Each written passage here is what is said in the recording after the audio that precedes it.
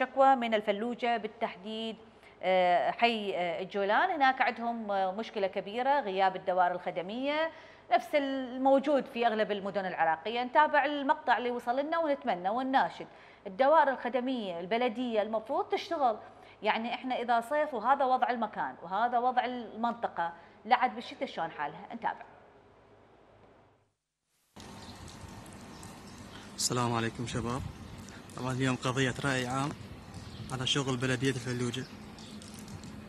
طبعا شغل بلدية الفلوجة صار بعد ما ينحمل. رايحة الشوارع حي الجولان إجوا قبل يومين أو ثلاث أيام شغلوا اشت... اسمه اشتغلوا من الشارع على أساس حفروه مال البور مال المي شوف هذا الشارع هاي الحفر حفروه تقريبا متر متر وشوية على طول الشارع. مدوا البوري وعافوه. وشوف هاي الخيسة وهاي الريحة العالم كانت لك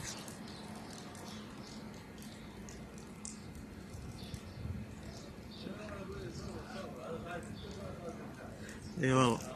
سلام حياك الله بجد. شوف هاي الخيسة هاي العالم كانت لك لا تقدر تنام الأطفال مالتها. بس من الحاول اطلع بقوة شوف.